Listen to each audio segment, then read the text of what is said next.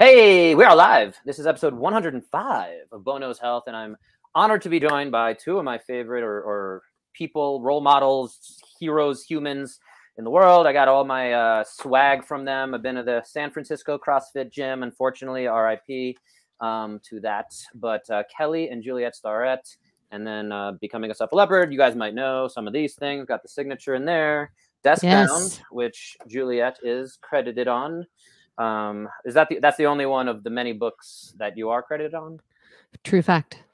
and uh, Although I take, I do take credit for some of the other ones. You should take Well, credit for them all. I was- I was gonna totally say- honest. Like and and before yeah i was going to say my wife's going to come on here sex and relationship therapy and uh, she wanted to kind of like say you know how do we get down to the fact that juliet is the brains behind the operation i think you guys have admitted that many times on many different platforms that kelly's just you know the, the pretty face in front of the camera but juliet's the pretty face behind the camera that that makes it all go if that if we can go that far and then are but are you the new book is built to move that's coming out is that yes. are you on that one will you be credited Yes. there Yes. In fact, we're having this funny conversation right now about the title and the cover about whether it should be Kelly Star. The the publisher thinks it should be Kelly Starrett and Juliet Starrett, which is like a lot of Starrett on the cover. Yeah. And Kelly and I kind of think it should be like Kelly and Juliet Starrett or Juliet and Kelly Starrett or something. So so yeah, I'm fully on the cover. Um, not in not in one point font. But let me let me Um, say this. so though. yeah, I am I'm in there. so stoked to go out on the road. So when we talked about we did a little book tour for Deskbound, it was so nice to have Juliet there. And now I literally am gonna be like, oh, I pulled a hamstring. You better go on without me. and to have my wife as the face of the movement is really a relief, frankly. So Yeah. too bad. Not it. You got to do the nose touch. Is that? That's the... right. So I've already done that. Yeah. So tell us a little about the book, though. Built to Move. I un- I heard you talking about it again on another show. Something about focusing on the processes. Is that is that accurate? More about the fact. And, and again, I know Kelly's talked about. Uh, we all need a movement practice. If you just do Peloton, that is not a movement practice. It is incomplete. Um, so yeah, is that along the lines? Am I on the Yeah, right? give me the give me the elevator pitch, Jay. Well, I mean, I think I'm going to change the question and answer and, and answer it sort of this way, which is like, why this book? And I think the reason we wanted to write this particular book is it's sort of like the culmination of Kelly and I being in the fitness business for 17 plus years um, in, in a variety of capacities. Obviously, we owned a commercial gym, we owned a physical therapy clinic, we've taught courses. Um, you know, we've been in and around um, human movement. Kelly has done a ton of consulting with teams at every every high level. So we figured out how to sort of take the best practices there and spin them back to backwards towards people. So, you know, we've really had this very diverse exposure to the health and fitness community. And I think one of the challenges that we've had, and maybe it's because we're getting old now, is um seeing that we feel like the health and fitness business is getting like a D minus in terms of um I wrote my name on the test. I get a yeah, you get a D. You get a D. D. D's get degrees. D's get degrees. Um, and that, and what I mean by that, and Kelly and I've talked about this a lot, but what we mean by that is that look, like we've all, those of us who are in the vertical of of people who describe ourselves as health and fitness enthusiasts, like we've gotten better, right? We're all tracking our heart rate variability and how many steps we take, and you know, we we track our track our macros and our nutrition, and we take the right supplements at the right time. And you know we have a breathing practice and we tape our mouth shuts at night shut at night. And like we're doing all this stuff um maybe not all of us everything you know every you know saunas and ice baths are huge right? Like but what we haven't done is figure out how to pass that message on to people who wouldn't describe themselves using the word athlete Mm. and so i think that was kind of our answer and to just this to cut through so much confusion. I mean, in our neighborhood, our if we just took it our neighborhood as a cohort, we field so many questions about, hey, what do you think about keto or intermittent Hmm. fasting or what about this exercise thing? And, and what the world doesn't need is a diet and exercise book at all. And it seems like the the if I'm I'm going to swear for a moment, so just trigger warning. I feel like we're at peak internet fitness shittiness where I can't tell who's an expert, what's Mm. working, what's a gimmick, how am I being just entertained? It's really fitness is entertainment.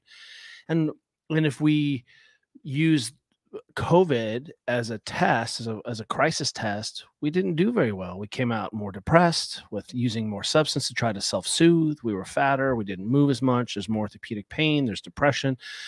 But uh, if you look at any of the questions about, well, how are we doing? If if fitness and and performance, if that's supposed to transform society and transform our communities, do we have less pain? Are we, you know, are there fewer injuries? Are we having less surgery? And it looks like every single metric is trending in the wrong direction. We're getting a D. We're getting a D. you're failing. Yeah, so yeah, you're, yeah, hey, yeah. you- I see that you're Yeah, yeah. eating food, and and I don't. It's not from lack of information. I think we're killing people with information, but It's, it's, too much information and too Yeah. complicated. so we call it kind of like we want to rewilding. We want to get people to base camp before we start talking about what color rope you're going to take up Everest. I mean, that's what's you know Yeah. seems yeah like it's and, happening. and just to sort of circle this up i think what we realize and we really love this base camp concept um, what we've realized is that um, and this is actually across all cohorts. So so while we're talking to like the everyday person in this book um, these are actually the same things that kelly would tell you know seal team six if he was going to go work with seal team six. So it's important that people realize that like even the best aren't getting it right. Even the best are missing these like key parts of um you know these what, what kelly and i call vital signs these habits that we think everybody should have in their life and really basic ones. Um in fact often elite athletes do the worst at that because they get so focused on the the real elite stuff that they're not even doing the basics.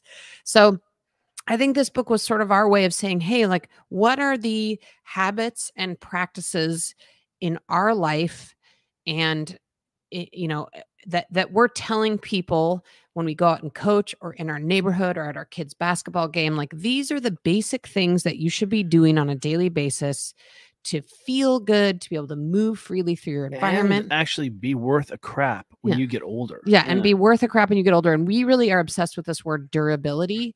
Um, we don't love longevity and resilience and some of the other words. We like durability because ultimately what that means to us is that is that you know when you get to be 85 years old, you know you can go on a hike with your grandkids or do whatever it is you want to be Or doing when, when you're you 85 when you old. fall and break something at any age, Right. you're, you're going to have some resilience to come back and Yeah. man, be able to do that. because you know uh, you know obviously as you know i'm a cancer survivor and, and i'm sort of the you know the poster child of like it's not sort of if challenging things are going to happen to you from a health standpoint it's more when i mean at least for like 25% of people.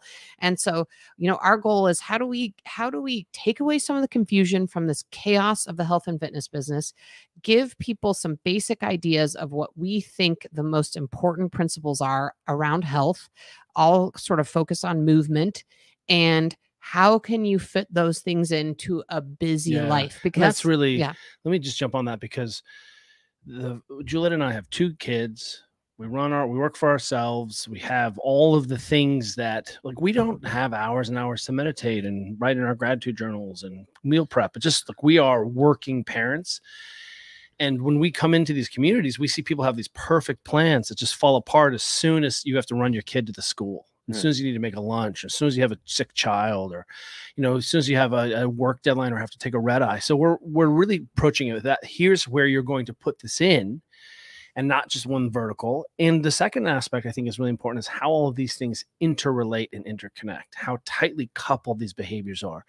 Yes, walking is important, but when you walk, you load your tissues. That's super cool. But also, you accumulate enough fatigue that you're going to sleep because you walk, and then that changes the whole host of behaviors on the other side. So that's what I think is really novel about this, and it's not diet and exercise because the people who've read this book are like, wow, you know, I don't even exercise and I hate food, and this changed my life.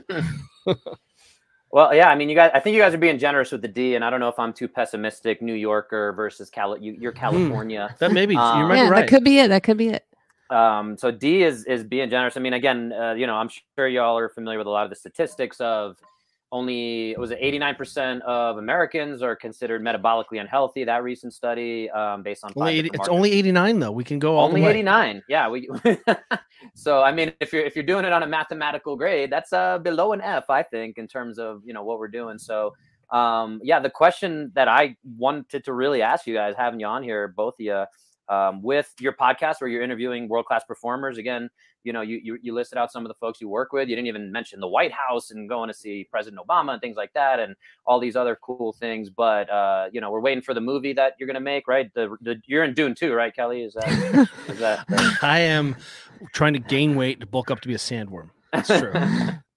That's- Um, that would be that would be a to- peak. I I'm mean, let me just say, tooth. like Kelly will have peaked as a human. You'll never see him again if that happens. Like that will be a peak. keeping my hand in the box every day. there you go. So, um, but yeah, that's the question. uh, Ultimately, is you guys are doing your part. You're being the change you want to see in the world. Uh, you've maybe evolved from. Again, we were talking about you when you were on Joe Rogan's podcast and uh, drinking bulletproof coffee. Um, are you still? You're not drink. You're not putting butter in the coffee and MCT oils anymore. Is that? that I, I think you went away from that. Yes. I, I think they were. Uh, I discovered early on, um, and this I think really speaks to some of the confusion. Right, we were all of us were became keto curious. Like, oh, we need to be fat adapted. Oh, hey, I can use you know fat as a fuel. Like early zone, early keto. Right. Robb Wolf is our good friend. We're just we're, we suddenly are like, oh, we're exposed to this, and so someone's like, hey, put this MCT oil and this butter in your coffee, and it's a great fuel source. And I was like, hey guys, it gives me diarrhea every single Yeah. time. So um, that was when I just pants was the, the fun term. Yeah, there, that's right. That's right. And I discovered then that these are the the you know as we're coming to understand, for example, you know that it's less. Yes, you can use some of these diets to remedy health problems, but for wellness and performance, that's not the same. You know, s- sustainability, and we've really f- made people fear things like bananas. We just heard the story Yeah. where someone was telling us. Uh, a amazing, brilliant coach who works with Tour de France level athletes, and she was saying that she went to her friend's house and the friend her daughter asked for banana. He's like can i give your kid a half a banana? She's like she actually needs the whole banana. And he's like well isn't that too much sugar? And she's like are you serious? Like you're worried about getting my kid a banana?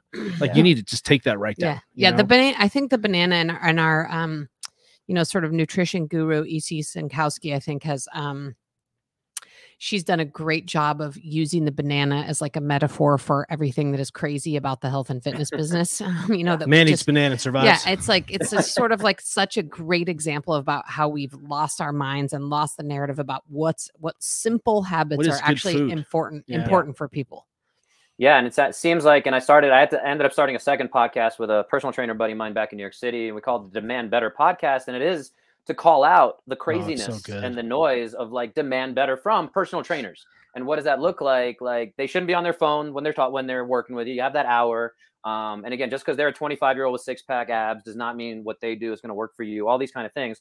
Um, and yeah, 98% of the time we focus on the 2% of the do I need agave syrup in my in my tea? And that's the thing that's gonna again change the world. Um, so yeah, I, the question I was starting to get to though um, is is there hope? Is and, and you guys are at the forefront of this. You know, I think again, if you, you guys are uh, either, whether both of you or one of you at least is is all, almost always on one of these top 100 greatest.com or or you know whatever health influencers.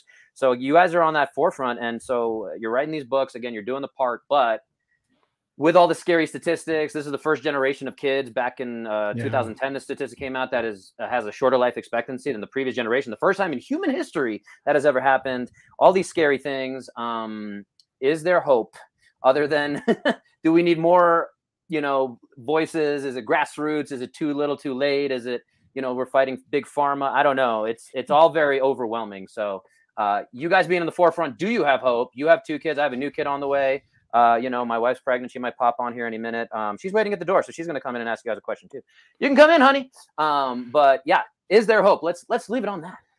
I, I want to say that I think our time, first of all, to reset the time frame and time calculations are different than we might expect. In so much that the my new motto and personal mo is the glacial pace is the breakneck pace. This is Mm. how long it takes to disseminate information and make change. And we can't quite yet see this generation of kiddos behind us who are starting to be more turned This- on and starting to kiddo make different decisions. Oh, it's so great. yes So great. I can't wait uh, to meet that child. I would, that's one of my friends a long time ago said I would pay money to be born into your family. And I was like, oh, that's so nice. So let me pass that compliment on. I'd pay money to be born in your family. But, um, you know, I- we, I just saw this great uh, quote by Sir Francis Bacon, who is the father of the scientific method, right? Who he's like, hey, look, you know, he's the guy who said, real science is induction, pattern induction through large data sets. So you need to see lots and lots of information, try to understand what you're seeing.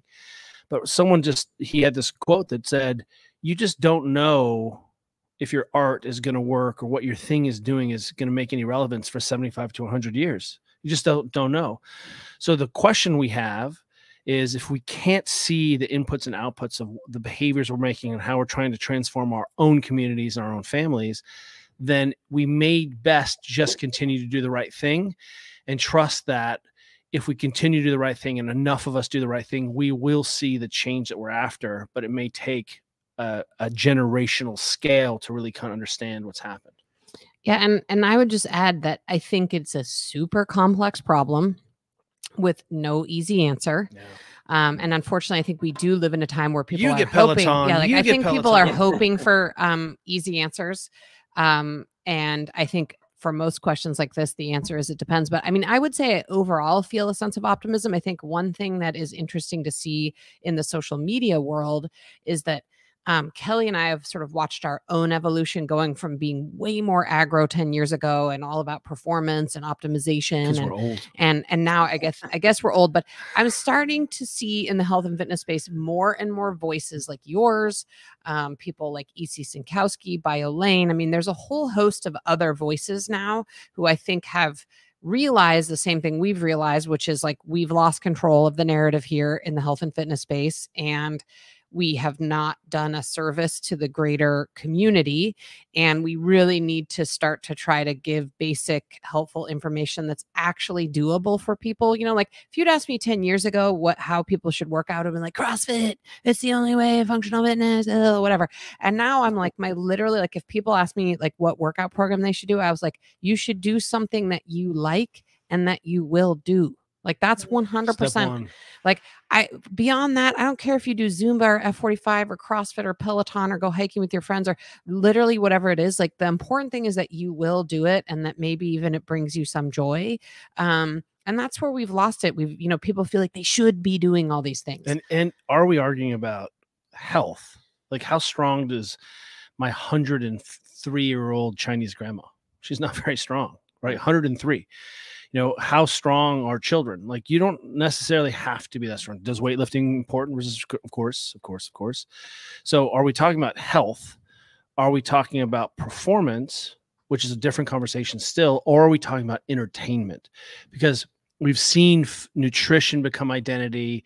We've seen, you know, people are looking for relating and you know if we if the primary reason we have a brain and communication and speech is so we can have these really meaningful interpersonal re- interactions in our tight tribe where we spend hours and hours a day interacting then people are going to look for some outlet because they're not getting that. And that means now suddenly it's entertainment. So the liver king is entertainment. And what the problem is and it's great entertainment. It's a wwe character. I mean my Right. kids follow the liver king.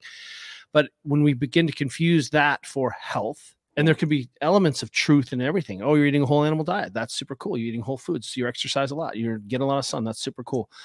But suddenly, the average person who comes in who is an expert in some areas of life is like, oh, I need to turn my health around, and they get some like, oh, I just eat all this liver, and you know, and that's going to do it, and it, and that's the conversation. I think it starts to get muddied. Is this about performance? Is this is just about basic line health, or is this about entertainment? I got one more thing to add too, just on the optimism thing. I think people who are listening to this and in this space should really sort of take uh take on the role of being like a node in their community that's what kelly and i try to Yeah. do like i think we really are kind of a node of um sort of like disseminating health and fitness information and you know we always have people over to our house and we're having people work out and jump in our ice bath and sauna and we're spreading whatever information we have and we're trying to debunk new health and nutrition myths and Tamping down fires. tamping down fires like we're trying to be that node in a community and and we're talking about a community of normal people like living their lives with normal jobs we're not talking about being a node to other health and fitness people we're like trying to be a node and i think that's where that real change and where the hope comes from is is it's not going to come top down from all the people on the internet with abs that no one can relate to. It's going to come from people like you guys in colorado and us in california and in like you know small places and communities trying to say hey we've totally overcomplicated this health and fitness thing. There are a multitude of ways to be healthy. You can have a tons of different body types and still be healthy. Um, you can experience joy in life and still be healthy. I mean, there's all these things. Um, so I think that's where we really have to change as a community is We need to just make it simple and we need to be a node of reasonableness for people around us. So to summarize, every human should be able to deadlift 1.75x their body weight. I mean, if you can't, you're definitely going to die young. Uh, on an ETOT, which is our version of the EMOM. It's every 30 seconds on the 30 seconds. you So we're just we Yeah. just Just, trademarked yeah. ETOT. you taught. So you're welcome. And, And- soon you as you have children, you'll have the E tater tots. It's gonna be great. and I know Kelly has to go a little bit closer to the top of the hour, but Juliet, you're going to stay on here until we solve this whole world health crisis. Perfect. I'm here. I'm ready. Um, so we're going to keep you hostage here. But no, I do have my lovely wife who is a little pregnant. She's half, halfway pregnant. Congratulations. You. Congratulations. Sorry, Um, I'm late. I think Bo told you um, baby needed to eat, so uh, had to get some food in my belly. We get it. But, We yeah. get it. I actually don't get it. I'm like, what's going on? Well, you don't get the pregnancy part, maybe, but I'm sure you get the food part. I used to say to my wife, um, you know, babe, there's just too many women trapped in one body right now. Yeah, it is. There's a lot of there's a lot of people in a single body there at some point. And if you meet my daughters, you're like, oh yeah, that was a lot of lot of Starrett in Aw. a A single. lot of human in one body. I'd love to meet them one day. Too many stars in the nebula, the nebulous. Well, you guys should finish like more, talking more about health and fitness because I don't want to digress. I think I think much. we'll No, we'll come come on, back digress, to it. Digress, so you're- digress. She's the This is- expert. Bo and I have been talking I, about this. I for understand 10 we're going to talk years. about I mean, vaginas, which is one of my favorite subjects. Ooh. yes. But you know, I, I was- as one of the things that you are hopefully we're going to slide into in discussion no is intended. That's right. Mm. but um ch- uh, different word um we're gonna uh talk about um Hey, That's what she said. people don't know how to self-soothe and interact and problem solve in their own and we we i mean just two days ago juliet's like hey you all need an accountant Hmm. because it's a neutral third party you need to solve this money problem and it seems that we're having an interrelational problem as much like it's it's like the things that made us human you know from not like hey we're going to eat paleo nests you know hornet's nest soup but the very foundational practices are being watered down and it puts a lot of strain on people where we're feeling really isolated and cut apart and, and don't know how to be intimate or have meaningful relationships Yeah, and I'll say that years ago I went to some presentation where a guy put up a slide that had a lot of impact on me because it was basically like what are the factors that help you live a long life? And like far and away above any health metric metric was loving relationships and Mhm. community around you. Like those things like literally it was like those far outweighed plus any butter in your coffee Yeah, I mean like Yes. And so so that's always had Apple a big cider impact on me where i'm like i'm like oh okay you want to have like healthy Gummies. loving relationships and then and then the other things are like a bonus it's true Yeah. Yeah. Absolutely. And, and not a lot of pay, people att- pay attention to that or pay enough attention to the, the quality of their relationships, even though we know that that's one of the biggest determinants of health and longevity and just generally it's one of the biggest parts of your life. So, yeah. And we, um, we alluded to the the whole COVID thing, and I think a study that I saw come out of that was um, of every day of loneliness, true loneliness, physiologically was worse than smoking 15 cigarettes a day. Like just the negative physiological effects. yeah that makes sense Um, and that I well and you know everybody's um you know all jacked up and excited about the blue zones where people live forever Mhm. um olive and- oil and everything yeah and i you know um I, I haven't spent as much time looking into it but what i do know is community and Mhm. connection are huge in those in Yeah. those places and so it would be interesting to know you know is it their specific health practices or is it community and connection like what actually is it that is making those zones blue zones but community and connection has got to be a big part I of it We're just in Europe teaching, and um, we went. Uh, we were in Munich, and we always love going to the beer gardens, Biergarten. And one of the things that we notice is we walk through a thousand people sitting down eating chickens and salads, and you know, like fresh And baked beer, bread and beer. and, Yeah. beer. Like that's I do have a German keg. style. I do have a German style ale. Kolsch. Noted. there we go I, I don't know if Kolsch is German, but it could be.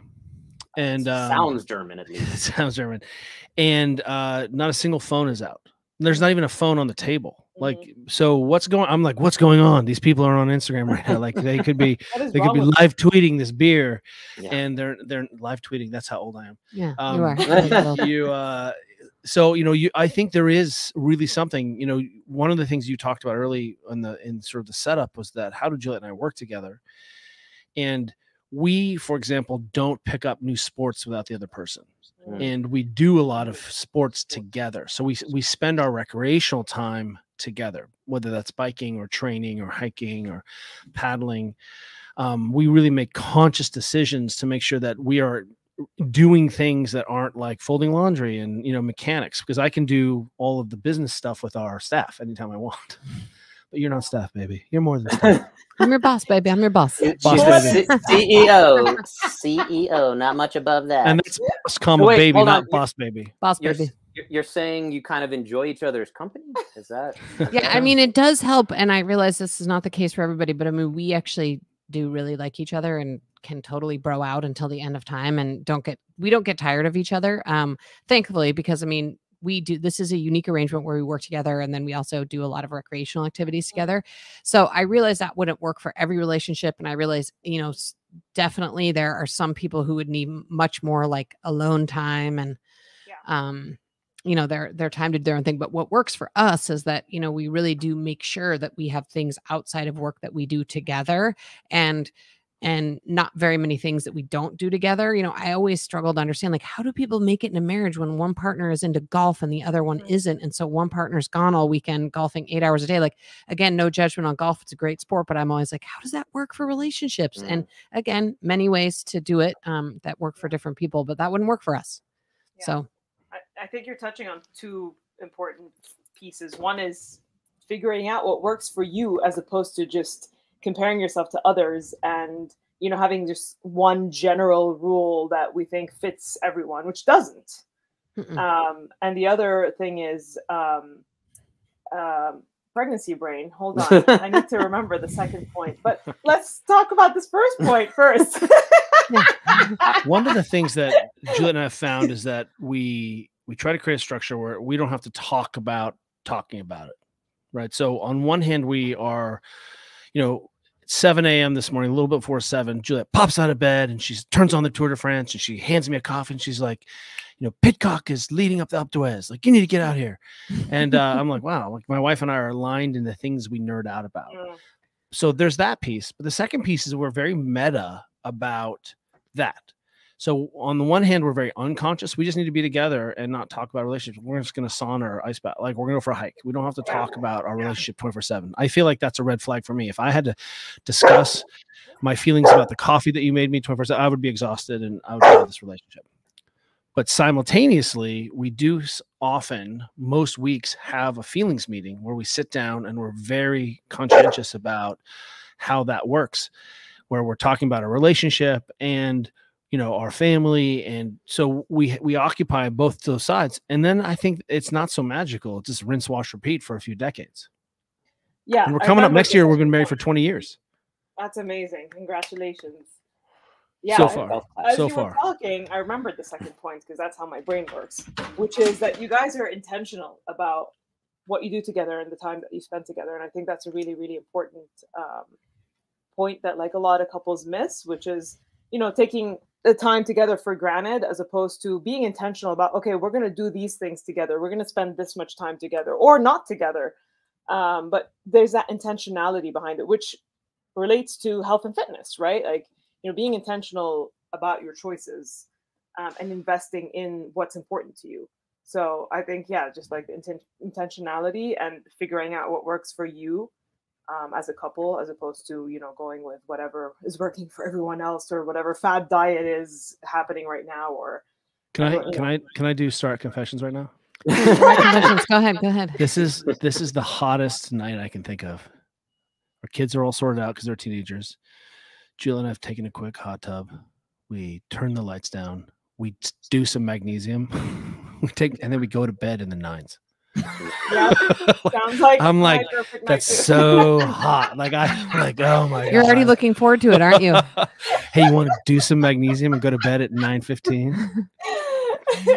not what every couple envisions as the secret to a happy marriage, right? Like, yeah.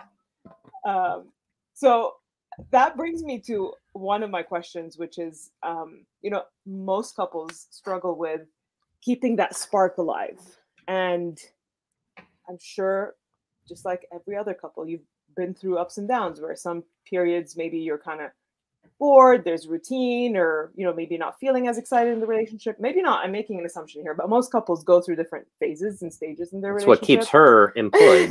Yeah, yeah, yeah.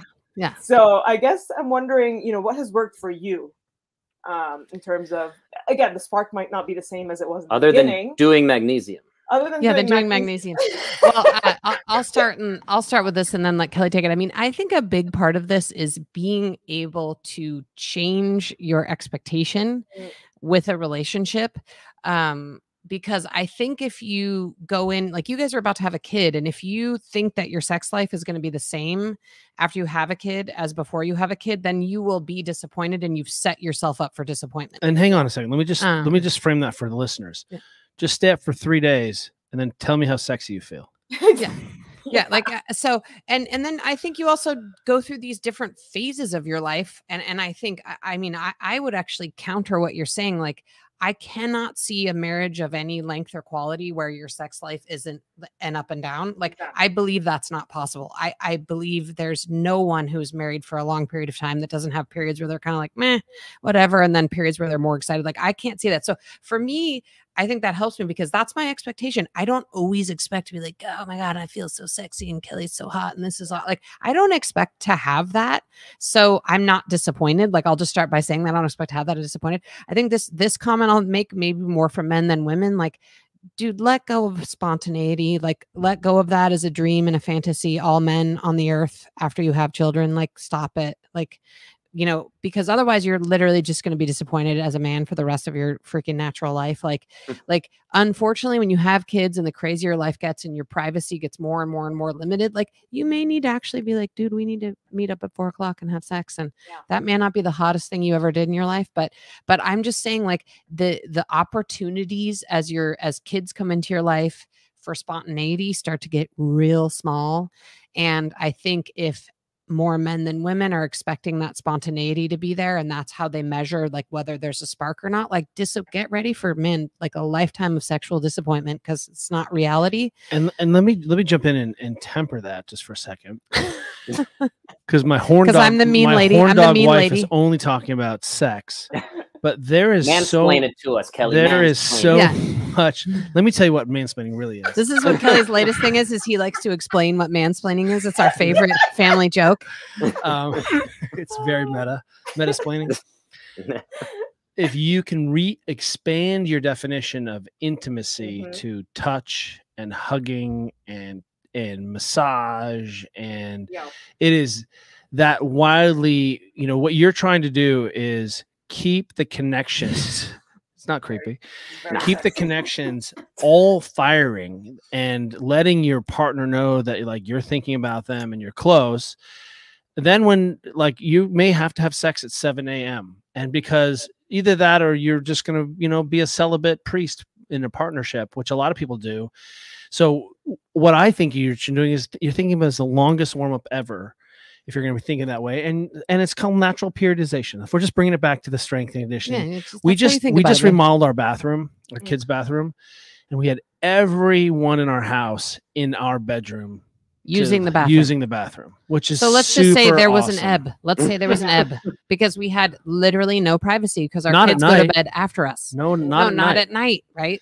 And so when your daughter's boyfriend is like excuse me sorry you know i have to drop a deuce in this bathroom you're like you know you're like all right well you know the, Honey, m- the mood feeling is a little different i think we're gonna I, have to I just do. I do have to do a callback to you know Kelly fandom. Here is could he lift the 200 pound stone you referenced in the Joe Rogan? podcast? He Yes, did, he did. Did he it. did He's still doing that, and he still did it. Okay. and and you should know that he is uh, it was an engineer kid they're they're separated now because he's going to college they just this like happened this week but uh we told him about the g stone Mm. and the next day because he started training with georgia we he was kind of lifting curious he's a big strong kid and then you know our family and then he started lifting more and they started deadlifting together and then all of a sudden georgia told him about the stone and then the stone was in the training yard and then like the next day there were a lot of attempts for him to shoulder the stone. Yeah. And then he did. And then I was like, well, that's good, but can you deadlift 405? Because all men should be able to deadlift 405. And within a week, there was 405 on the bar. Wow. Did it? Did it go up though? Oh yeah. It was on the bar, but yeah. So I have a question. I mean, you're a marriage and sex therapist. How how do we do? How was our answer? Perfect. Be- better than the uh, health score of the country, as we earlier Honestly, agreed. like it's really refreshing to hear that because these are some of the things that I kind of quote unquote preach to my clients is a things are constantly changing. We evolve, we change in relationships as individuals, as a couple. We go through different stages, phases. It's unrealistic to expect, you know, the the, the passion, the excitement in a relationship to stay consistent and or be similar or you know even the same intensity as like the beginning of a relationship, right? It ebbs and flows. Um, so having that expectation and being able to adapt to the changes, I think, is what makes it um, easier to deal with. Is like you know that adaptability, basically. Um, and uh, what you know Kelly was talking about in terms of redefining sex and intimacy. That sex isn't just intercourse, and that's what everyone focuses on. But if we're able to broaden our definition and uh, you know see intimacy and, and sex and sexuality as so much more than just that, it doesn't have to be intercourse. You know, if you're able to touch in a sensual way or look into each other's eyes in a very deep, meaningful way, that can be exciting for some people. Be vulnerable emotionally in a relationship. Um, so yeah, just kind of redefining intimacy and what you said, Juliet, like you know, just kind of adapting to the natural changes and evolution of life. I feel, and I feel like there are a couple things that have. I mean, I, I'm approaching fifty, and my wife is has six pack abs. and She's jacked, and uh, so that helps. Thanks for that. Um, you know, you've gotten better looking. I have gotten fatter and balder. So That's not true. You I'm look also so good in those jean shorts, baby. I'm super jean shorts. stoked that I have and someone the who's khaki still. tight pants in the in the carnival, whatever that is. Yeah, that's right. That's right. I- I'm also super stoked that uh, at this point in my life, like someone finds me attractive. Like that's super cool. That is that is like I can't I can't talk about that enough.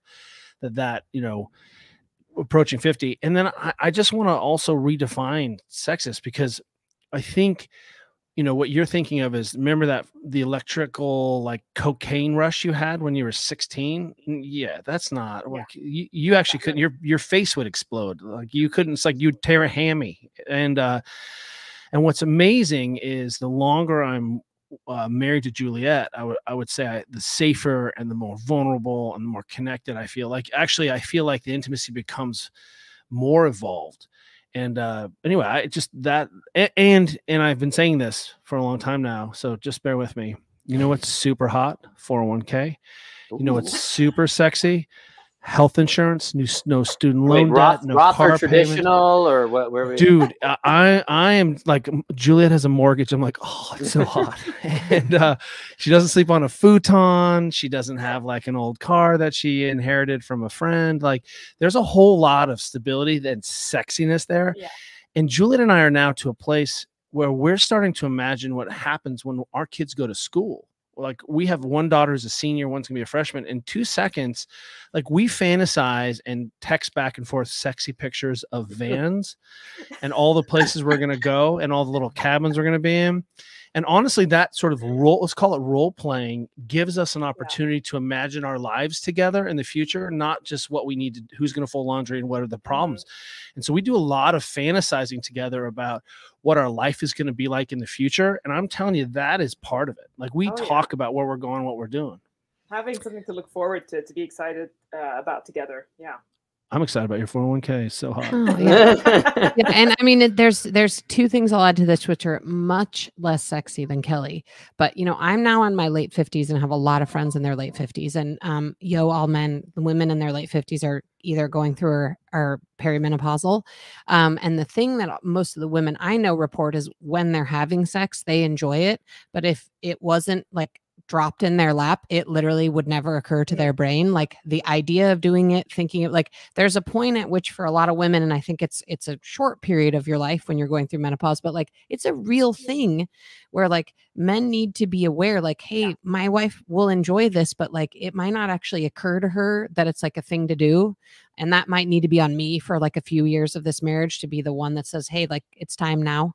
Um, because Yeah. That's a really common thing among, amongst women my age that are talking about. They're like, yeah, it's great when I'm doing it, but I would never think about it outside of the moment.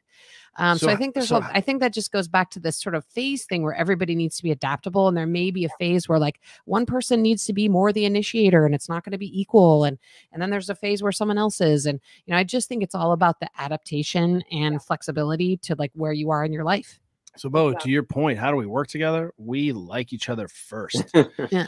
I mean, really, if you're going to work with your spouse, we went to a physio conference where it was just, you know, it's uh, Danny Matta, you know, his physio group, um, where they're bringing young physios in who are moving out of kind of traditional practice, starting their own practices. And just as sort of it, it kind of fell into our laps, like, hey, would you guys do a little talk about, you know, a little half hour speed sessions about working together? And we had 50 people, and then the same 50 people stoned for the second thing, and then everyone went to their thing and came, and we just went over and over. And I think we saved marriages, we saved businesses, you know, because really, truly, it's remarkable to solve problems with your spouse, but uh, and work together. But you better have some some foundational pieces there.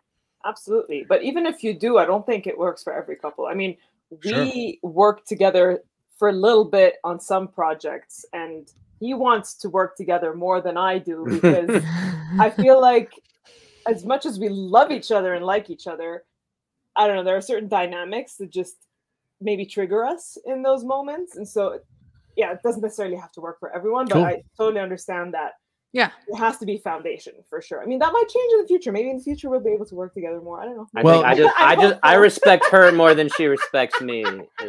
Well, you know, there's something there's something that's impending coming, and we'll see how. I mean, you're working together. You know, sometimes people say, "How do you guys work together?" And Jill and I are like, "Aren't you in a marriage? Like, aren't you in I a mean, that- partnership? yeah. You already work together." So, I Yeah. mean, we're just expanding that definition. How- and, but how do you make it work? Not just, you know, and Right. wait until you have how do you a enjoy your job? Yeah. Yeah. uh, one of our friends, Laird Hamilton, has this uh, saying. He says to men, um, "He's like, you're not confirmed as a man until you have a baby." And Mm. and let me just define that for people. He's not saying you absolutely have to have a baby in order to be a man, but he's saying it's really difficult to be an extraordinary man and have a child. And that a lot of people can do one or the other. And he's but when you can do both, when you can care for your family and show up and be vulnerable and be a member of your community and take care of your spouse and have your day job where you're super rad and fun. He's like, then we're like, wow, that kid's got something going on.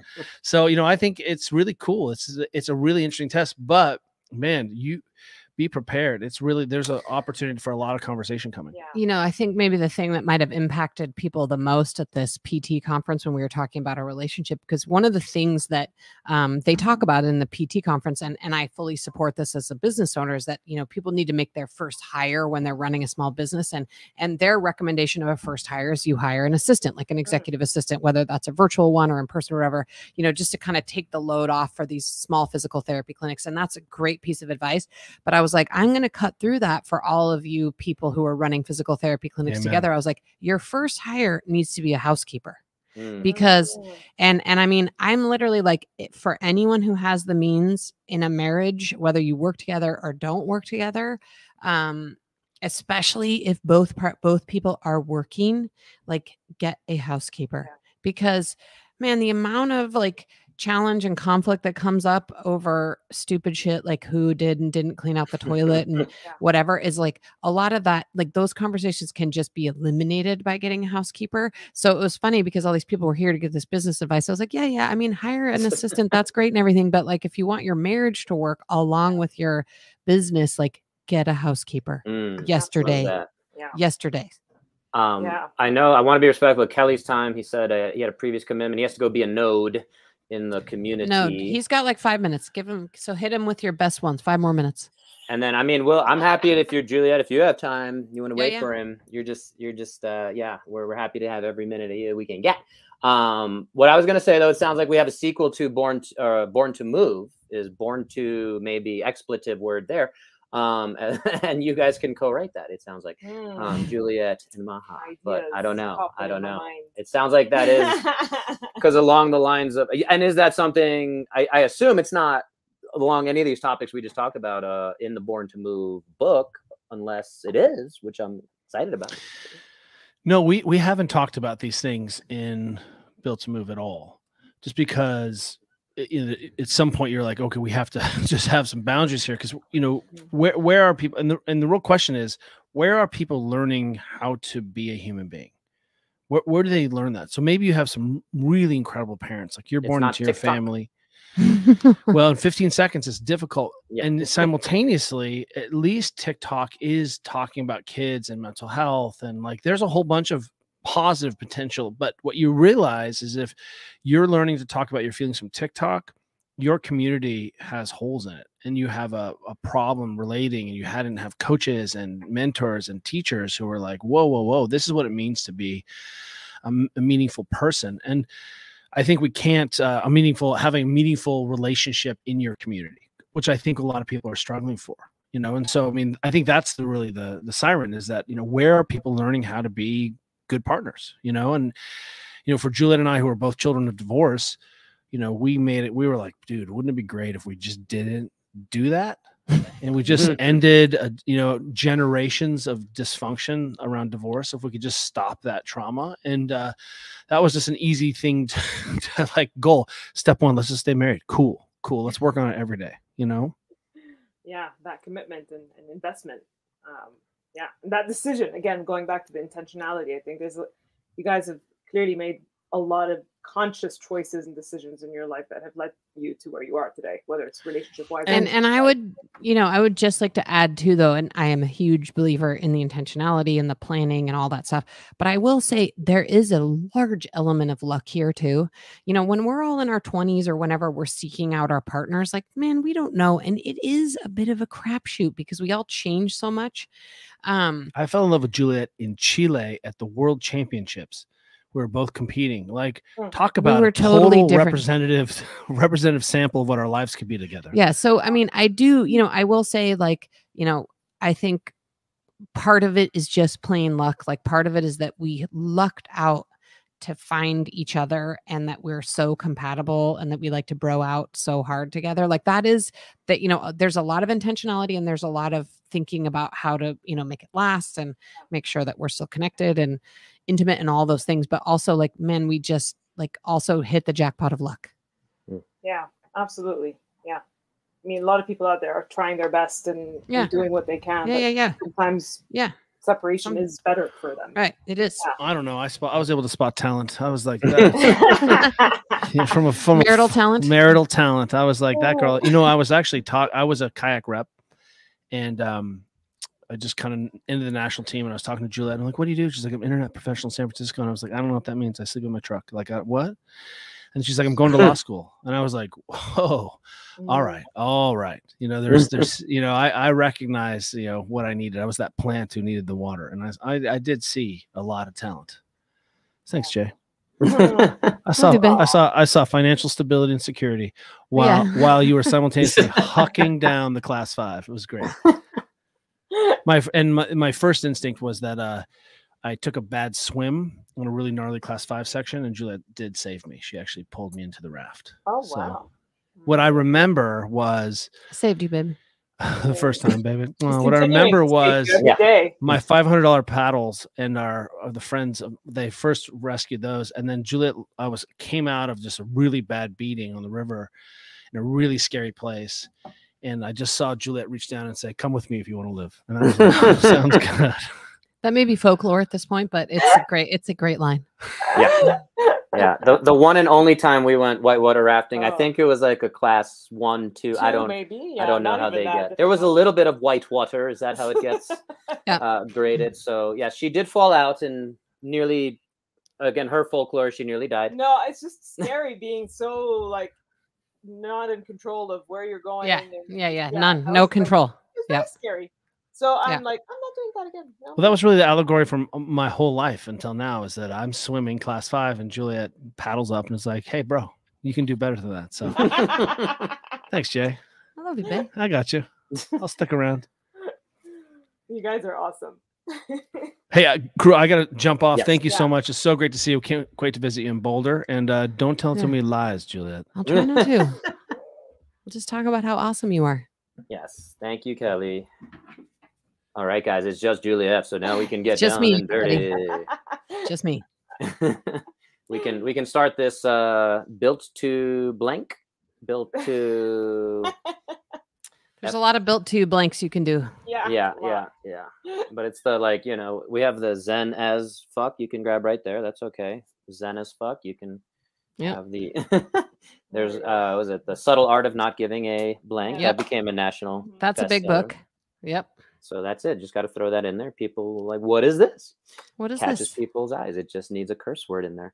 Catchy word. Exactly. Yeah. So what what is what is the plan for the future of the ready state? So uh, just for anyone who's not listening and not familiar with you guys, which seems unlikely, but um you took so we're not even going to talk about the the warehouse of dreams sadness there that um R.I.P. R.I.P. RIP and um but you do have the virtual mobility coach uh want to make sure we shout that out um which is as you joke around Kelly in your pocket.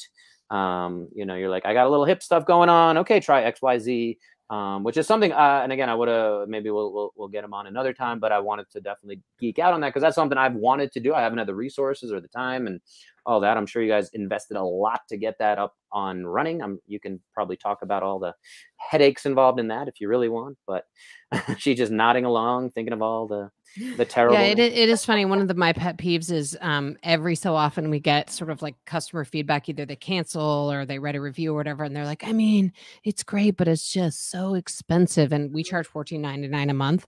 And I mean, literally, if one person could have like a behind the scenes view of like the human.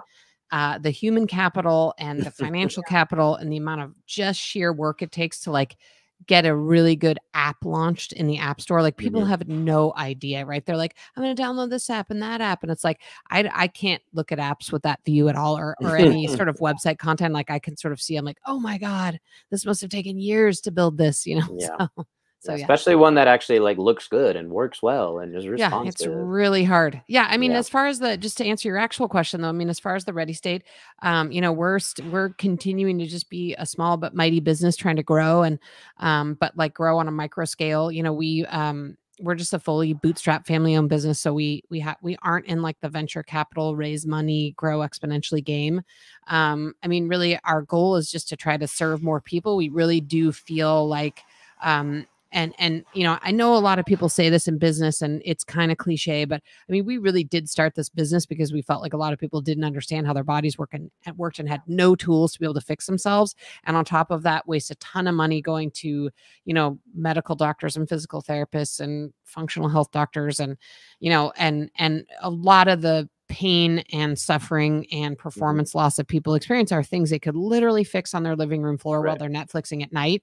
Um and so i think that's really the word we're trying to spread out is like is and this is also a big part of built to move is that um you don't need to add in you know 10 hours of yoga a week or some complicated yoga practice but you do actually need to put some input back into your body especially for those people who are doing anything athletic and i'm talking like from hiking all the way to high level crossfitting like you know and and people will learn that lesson. I mean to the young people listening to this if you're in your 20s and you put no input into your body but you're using your body for literally any purpose like just wait until you're in your 40s like you'll come a knocking at the door um because everybody who's using their body has experiences some trouble. So you know our big challenge as a company and this has been since the beginning is how do we get people to care before they get injured? And it's a challenge and frustration for us. You know most people find us um you know who aren't part of the crossfit community or you know some of our kind of like super user fan base um most people find us first because they're in pain. Um and and that whether that's kind of chronic nagging pain and injury or a catastrophic injury or a surgery or something that's how most people find us. Um and we're always trying to figure out strategies of like how do we capture people's attention to care before they get to that point where they're you know dealing with a lagging indicator which is an injury or pain or whatever. So i mean that may be a problem that and not maybe i know it's going to be a problem we're trying to solve as long as the ready state is in existence but that's one of our biggest challenges is how do we get the message? And we're trying to do that in built to move. I mean you know one of our um you know if we're going to use the again cliche terms of like the pillars of health that people talk about like sleep and nutrition and community and all those things one of the things that we think is a pillar of health is actually putting some input back into your body in terms of you know um, mobilization, stretching, self care, um, you know, practicing basic things. Like one of the chapters in our book, Built to Move, is about the ability to get up and down off the ground and how Mm. important that is. Yeah. Um, and so, you know, we're trying to kind of spread the good word that, like, you know, like you've got to do a little input into the system and it does not need to be hours and hours and hours of Ido Portal or yoga practice or whatever that there are some really basic things you can do to make yourself feel better um and speaking of being a node like one of the things i feel the most pride in is is like you know our daughter Caroline's kind of a high level water polo goalie. And, you know, Kelly's taught her one of these mobilizations he does. I don't know if you guys have ever had him do it or done it, where it's like someone kind of puts their, their almost their foot on your shoulder Mhm. and is working on your internal Mhm. rotation. And so Kelly has taught that to Caroline because water polo is a really shoulder heavy sport. And then she had a friend at water polo who was having some shoulder pain. And so Caroline did that mobilization to the kid. And then Caroline came home last night and she said she showed up at practice and the kid that she had taught was doing it to another kid who had also complained of shoulder pain. Right. So that's like that node concept, right? Like it's mm-hmm. sort of this like, how do we get, how do we sort of spread the word? And, and it's hard because, you know, most of us are busy and we're like, I'm just going to smash myself for an hour Yeah. and then fall asleep. So I think that's the biggest business challenge. Um, you know, we continue to just try to grow on a micro level and figure out how we can always be iterating on our products and services so that they're, you know, the most intuitive and useful for people, um, which is hard. I mean, you know, the other big challenge is, man, we talked about this at the beginning.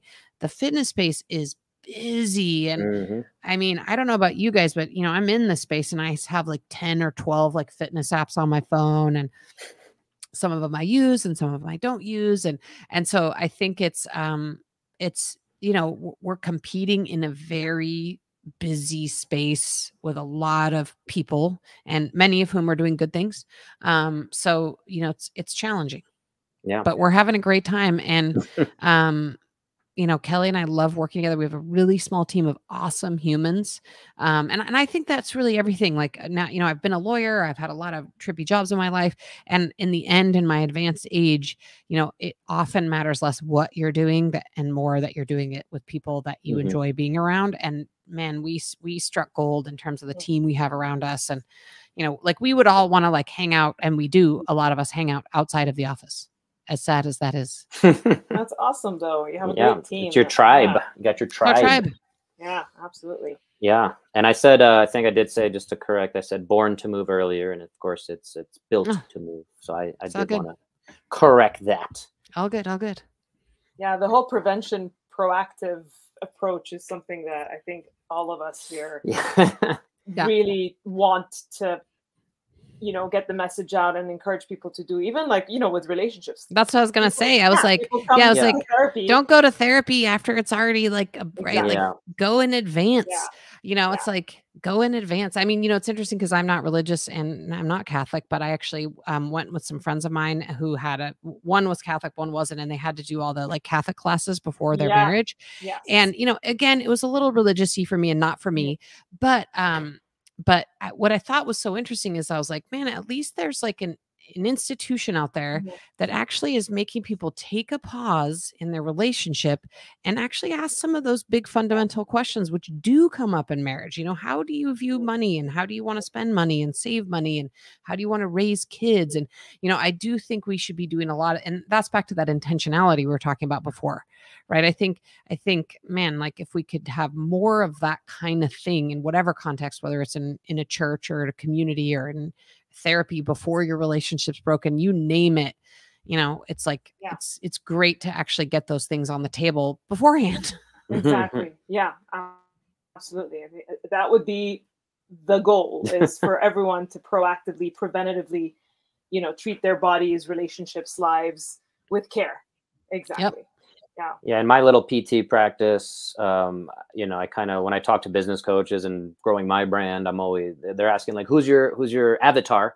Um, and I always reflect on the fact that you know who I end up getting are the people who have failed with 10 other clinicians because I'm providing something very different and like a real solution. I'm not just saying, "Hey, let's get you out of pain and let's stick some needles in you." It's it's you know, and I know you we're we're always on the same page with all this stuff. Um, hence why we're here. But um, yeah, it's it's frustrating to be like, can I get to them before the tenth provider? Can I be the fifth provider?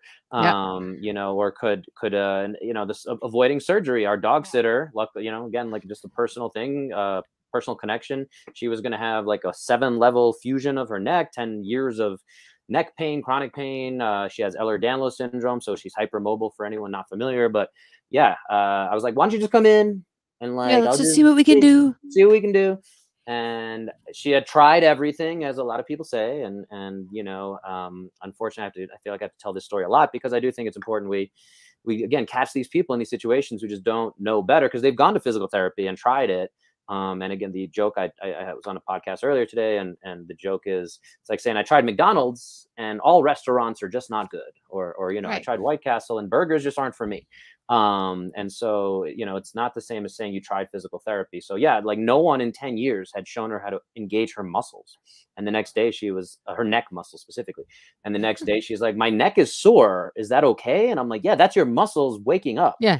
um and so she went to the surgeon uh who was going to do seven lev- levels and he's like all right you can keep doing this thing but we're still going to do one level he insisted. So she agreed to that but you know again had we done that three months earlier four months earlier maybe we could have avoided surgery altogether and and gotten her out of that um, pain and living better life and all that good stuff but anyway Yeah, I mean, I'll just say we're living a parallel life because I mean, we we don't have a physical therapy clinic anymore, but we do get um but we got a lot of those people um when we Mhm. did have one and we get so many emails and it's like I almost can recognize the email before I Mhm. read it because it's usually like 9 paragraphs long Yeah. um, from people who are super earnest and have really tried to get answers and help to their problems and um and you know just have not been served well by whoever they've seen and and exactly it's like it's sort of this idea that's like all you know all practitioners are created equal well they're not and everybody has different systems and you know we um we were in munich a few weeks ago uh, teaching at the um, Perform Better Summit there, and there's a trainer named Don Saladino. Are you guys Mhm, familiar with yep. him? He's a New York-based guy, Yep, yep. and he's not a CrossFit guy. Um, but we had a great dinner with him. Super nice guy, and he's we were talking about CrossFit, and and he said, "Well, you know, people come up to me and they're like, "What do you think about CrossFit?" You know because they want to get they want to get like the you know the answer of like Yeah. i hate Yeah. crossfit or i love crossfit or Mhm. you know they're looking for something and and he's like he's like why would you ask me that question that's like asking me do i like restaurants like Mhm. he's like there is a vast difference in crossfit gyms nationwide and Mhm. worldwide and some are great and maybe some are less great and you know uh, he, he's just like he's like i don't even entertain that question because you know it's it's so different depending on the location and so yeah i think um you know but people back back to this thing i mean we're you're seeing those patients and we're getting those emails um Mhm. because there is um you know something's not working right um and, and i am very you know especially as a cancer survivor who is all super i could not be more pro western medicine and you'll never hear me say a negative thing about it um because i'm alive but simultaneously i think there's something missing um especially when we come to like the more wellness side of medicine right um and so I I think that's that's why we're seeing people who just somehow aren't getting the help they need often and Yeah. find us as a last resort. So I think our challenge, and if you guys figure it out, is to figure out how do we get those. We're ready, you know, because it's a million dollar idea. You know, how Right. do you get those people to care yeah before they send you the nine paragraph email? Yeah, I mean, my my one of my reflections, and we've talked about this before, and she kind of was, and I don't want to give away the, the the million dollar idea if we ever end up actually doing it. I don't know that we're going to do it anytime soon. You can just say. TM. You can say TM after you say yeah, it. that'll- it's, it's yours. that- you're you're you're a lawyer, so that that Yeah. holds up. That holds up in court. Um, one of them is is that like she wanted to be like a Mister Rogers Yeah. for that kind of like relationship. And I, I was going to ask uh, again with Kelly on here before too, but um, of of like, can we get a Jack LaLanne to be like, this is what you need to do. Stop listening to all this other noise. And Yeah. again, it's going back to those vital signs, the basics. Like that's what he was preaching. He's like, let's do smoothies or whatever, and that's Yeah. an easy way to do it. And and you know, but he was the one voice. He was the health guy. We, Right. now we have, like you said, 15 apps on your phone. You go on TikTok, there's 3 million influencers or whatever. It's like at some point, you, you yeah, can you be a node? Uh, which is, uh, you know, I love that concept. I want to, you know, figure out how to build on that in some ways myself as well as as just in general but yeah there's definitely a lot of um Yeah, it's hard. I mean, you're right. It's like Jack LaLanne. You're just like, well, it's the one guy, right? Like, how easy was it for him? He was the only guy anyone was listening to in the health and fitness space. And if he's like, buy this blender, Yeah, everybody did. He had all the right hashtags. Yeah, yeah, That's, um, Yeah, I mean, I think that's you know we're trying to do that a little bit with Built to Move, and and I don't want to overstate our ability to have an impact on you know what is again a complex problem, but we're trying to do that a little bit. We're trying to just say, hey, you know, maybe try these things. Um, and do the ones that work for you and add in a little bit of exercise on the side and just you know do, can you move more freely and feel better and you know stress less about what you're doing from a health standpoint? I mean what is interesting is now you can't um, and challenging because there are so many voices is you know we probably had one too many conversations about like okay how are the critics going to take us down here and Mm, where can we expect critics to take us down there? Right? Because there are so many voices Yeah. um and so that's part of the reason why we we made this book so simple. In fact kelly and i had the conversation quite a few times like is this too simple? Like are we going to get taken down because it's too simple? Um but we decided in the end no like we really want to have a book that's like man from basically whatever whether you're keto guy or you know crossfit person or breathing person or whatever whatever sort of like little sub fitness tribe you're coming from we would just want to say like look nobody can disagree that you should eat some vegetables i mean well sorry there are some people who would but um that was a bad example. King nobody's going to disagree carnivore. yeah nobody's going to disagree that you need to sleep and you need to move your body which are kind of like you know some of the biggest principles like you need to move your body you need to do some input on your body. We we are in the camp that you need to eat a few vegetables every so often um but just the most basic things um but yeah there's a lot of noise out there um but i i will say i just i go back to feeling like there are starting to be more and more voices like ours and like the people i mentioned earlier who are saying hold on a Mm. second like we've Yeah. overcomplicated this you know and let's let's go back to the basics and that's what we're calling base camp like we're just saying hey look like like to me um kelly used to say this you know people used to um want to come in and see kelly and and he was like did you eat breakfast and they're Yeah. like no and he's like well then you can't see me and they're like well i want to see you for my knee pain and kelly's like yeah but you didn't eat breakfast so Mhm. what are we even Yeah. talking about here right so Yeah. so i feel like we're a little bit kelly and i are about that that thing where we're like look are you doing these base camp practices as a human and self care. then if you're doing those things then you can ask me what kind of magnesium you should be taking but don't ask me what kind of magnesium you should be taking until you're sleeping sometime yeah, yeah. um, you know so anyway i digress i don't even know what i'm talking about no, no, it definitely um, is is vital to this conversation and the, this whole concept, hundred percent. And yeah, I do have my five pillars of health, health, health that um, we're talking about. Sorry, doc- Pregnancy brain. yeah, pregnancy brain. Um, you guys have a dog in the background she Yeah, is, she is like, to get our come play with me. yeah she's like what is this this is my time exactly.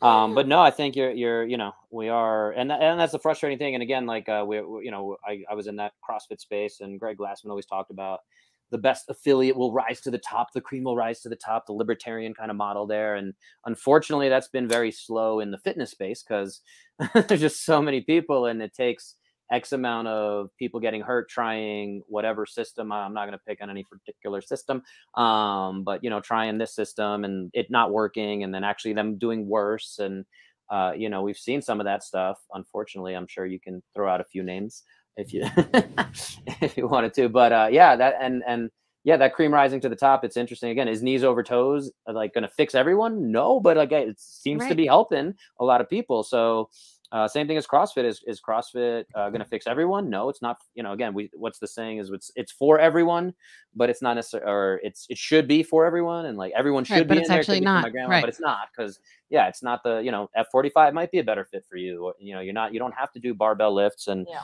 and Olympic weightlifting, and you might get too bulky, and that's that's you know something you want to deal with. So yeah, I do think again we can certainly we're we're, we're digressing into all sorts of fun. Uh, unfortunate territory here but um i do want to be respectful of your time as well and um yeah no i appreciate you guys being on here uh, i'm excited for the book for sure um yeah we're really excited Yeah. Yeah. Congratulations. thank Yeah. you i'm excited for you guys to have a baby thank you You when's it actually due when's it due November, November 8th. okay.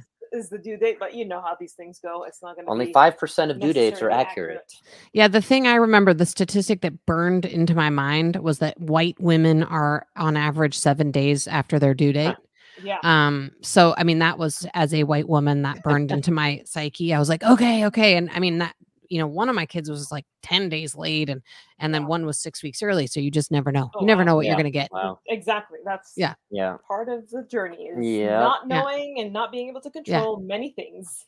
Yeah, Do well, every- it's good you guys like, know are, that. Are you guys ready? Are you ready for the baby? Like, um you "Oh." didn't ask for you guys didn't ask for my advice but it's good that you have that i'm gonna give it to you anyway um i'm gonna give it to you anyway and and because i will say i was a much more judgy pre-parent i would see other parents and be like Mm, i'm never doing that and mhm. When I'm a 100%.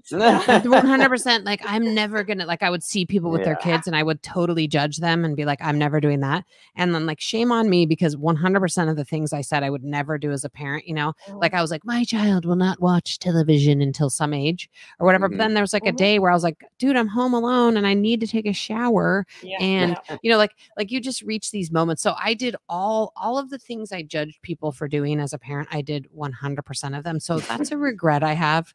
Um, so I appreciate hearing that you guys are like, it's just wide open how this is all going to go because I think Wait, do you regret judging them or do you regret doing Yes. the things? no, I regret judging. I regret prejudging them. I was I was a judgy meanie about a few things and I don't it wasn't it wasn't a good look. And it was a waste it was a waste of my emotional ener- energy being judgy when For sure. you know in the end yeah I don't regret doing the things because of course once you do them you're like oh yeah of course I'm doing this. Yeah. That's why a lot Yeah. of parents do that. yeah. yeah yeah yeah you're like oh now it makes sense so so anyway i mean you guys are about to um you know i will say i don't in my own observation um actually not everybody loves being a parent but you can never say that out loud after you have a kid because you're already in it um but man kelly and i really have had you know obviously it's there are many challenges and whatever but it is so fun to have kids and each phase is special and different and awesome and you guys are i'm so psyched for you So Thank fun. We're very excited too. I'm most excited about the baby phase. Once they get older, I'm like, eh. Oh yeah, see, how I feel Kelly and I are like the exact opposite because we we always tell everyone like we would have six kids if they came out when they were three years old. Really? Yeah, yeah, that we would because like we love kids, but like we're like, eh, we're kind of like newborns, whatever. Like, well, we'll send them to you then when yeah, yeah, you age. guys just birth them and get them to three, and then send them to us because we're like all go. about that. We're all about that. I think I'm more in your camp, so I think we'll have that good balance. Yeah. balance. You'll do all the work for the first two, Yeah. three years, Okay. and then I'll yeah take and give your over. i mean give yourself a break too there's so much pressure on parents like like literally i you know used to be like wow i shouldn't say that out loud that like newborns are blah and of course you will like it's everything is different with your own child and of course you'll have this deep connection and deep love but like i'm just shameless i'm like yeah i'm not that into newborns like i didn't enjoy that phase that much it wasn't that fun and that does not mean i don't adore my children with Absolutely. everything every part of my being you know So- you can have many feelings at the same time and it doesn't Yes. mean that you know one denies the other Well, it's like it's like the marriage you're talking about, ebbs and flows, Yep. ebbs and Yeah. flows. but overall it's you guys are in for a wild ride and a fun wild ride try to stay in the in the raft as Yep. we're on the. No, I you mean, weren't. You once are I gonna fall, fall out. You're gonna fall out of the raft for sure. A lot of times. A lot of times.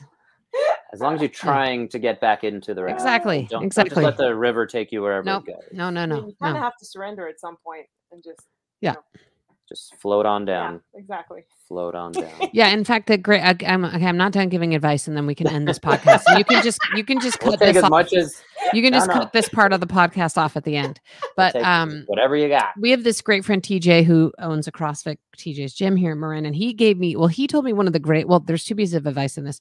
Um, and I've noticed that he said, you know, being a being a parent is kind of like running a marathon. Like when you send your kid off to college, like you've crossed the finish line and you finished the marathon. But he said, but he notices that a lot of parents kind of stop running at like mile 24 because by that point your kid's pretty self-sufficient they can Mm. drive and he said he said that that's actually like the wrong time to take your foot off the gas because you know babies you know um as a working mom i'm going to say this like don't really necessarily need their mom. They need to be held and loved and fed and nurtured and whether that's from their mom or someone in their community like that's all great. Yeah. but uh, babies and little kids rarely can make a decision that can alter their life for the worse. Um teenagers can. Mhm. um and so that actually really helped me too as a working mom and actually in setting up my life that that actually it, you know i actually was like i'm going to be working a lot when my kids are little because childcare is a real thing and my kids are going to still have plenty of time to be loved and nurtured by me you know outside of my work day um, but i've really tried to set up my life so now when my kids are teenagers and they can really get into real trouble and have real challenges like i'm around Yeah. i yeah, am home and around Mhm. um so you know That's, that's great advice. That's Marathon. Great perspective. Yeah. yeah Marathon. But that's why it's a marathon. Teenagers, I'll send them to you. Yeah. That's fine. Just send them to us. I love, I actually love, I love teenagers. Um, I think they're hilarious and awesome. So anyway, um, it's so fun to talk to you guys. you too, Jay. Um, you, yeah. Um, and uh, I did want to. you that would have that would have led to stand up kids, but we can talk about that another time. that's fine. And as you know, Kelly's parents live in Evergreen, and we have a lot of, you know, since I grew up in Boulder, we have a lot of occasion to make it out that way. So, um, Well, so you'll I, meet the baby soon. yeah i mean i'm sure in in the next six to nine months we will be in that area and let's um we'll buy you guys a coffee or whatever Oh, whatever it is That- you That'd great. partake in Annie and all of it. Yeah. Yeah, perfect. Yeah. Well, thank you again so Yeah. much. Um, we wish you a good night. we Uh, wish you a good night thank you guys again so much for having us and thank you on En- kelly's behalf he Enjoy says thank doing the magnesium tonight. Yeah. and getting in bed by nine. you guys are gonna think of us and be like wow they're so sad and old No, we're no, actually, I'm we're like, I'm like validated actually. yeah, like, oh my god, we're- sleeping, going to bed early is like one of the best things in the oh world. it's It's like, so wow. good it feels so good yeah we're it's totally the best on the same page. Even like if even if we're like Netflixing at nine, we're like, "Ah, this isn't worth it. Let's just go to bed. Yeah, Like, it's what like do we? bedtime.